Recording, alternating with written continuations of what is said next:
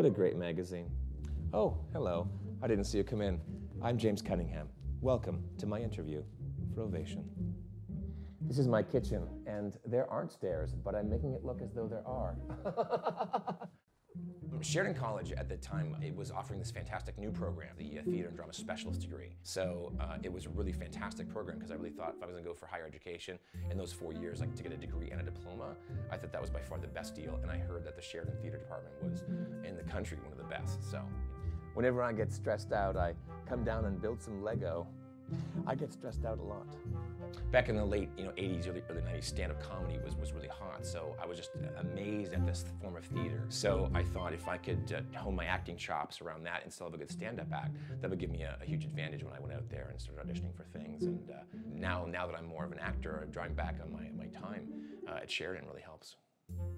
So Eat Street uh, came uh, many years after. I get this mysterious call from, from Vancouver, this guy named Peter Wall. He goes, uh, you're really funny. He goes, we're doing this new show on food trucks. And he says, I can't give you any money. I can't give you any contract right now. He goes, what do you want to do? And I go, let's do it. And uh, then the rest is history. It went to uh, 94 episodes, 40 countries around the world, and uh, seven seasons. So it was a lot of fun. Best experience I've had in TV so far.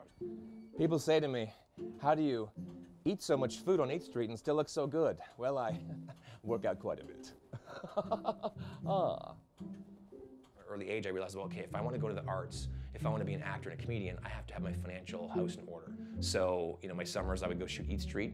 Then I go on the road with uh, Funny Money. I'm a president and CEO of a company called Funny Money Inc. And uh, it was a comedy show uh, based on money, credit cards, all that kind of stuff. And we talk about, uh, there's three steps. Uh, know your flow, control what you owe, and invest and save some dough. So how to create a budget, how to uh, build your credit score and make sure your credit cards work for you, and how to start saving and investing your money at 16, 17 years old. So by the time you hit 65, you've made yourself some long-term wealth. This is a Ukrainian instrument called a bandura, 28 strings. I cannot play it. I think anything that you do, whether it's a success or failure, I think it teaches you something. You know, when you have a failure, when something doesn't work, especially in stand-up comedy or in theater, when you're live and there's a crowd right there, it's instant success or instant failure. You know the minute that something's not working. And so what you do is you learn from that and you adapt on the fly. And I think that's a lot like life. When you fail or you're, you're out there, you're doing something, it's not working, you try something else. Any feedback is brilliant and it makes you a better person. Thank you for coming by. I hope you enjoyed it. Please get off my property.